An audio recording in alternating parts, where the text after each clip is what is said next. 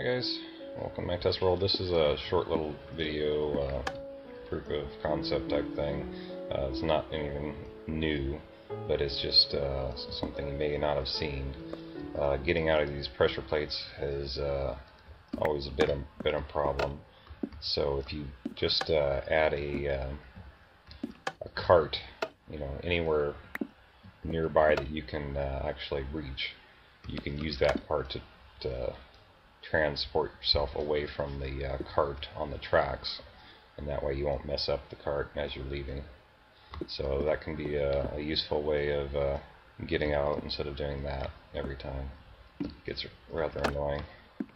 So try that. Um, another cool feature about this thing I'll show you is if you're down here in your redstone area and you have an emergency you need to get back up right away, you can uh, transport up right to the floor. Kind of a cool little glitch there. Alright, thanks for watching.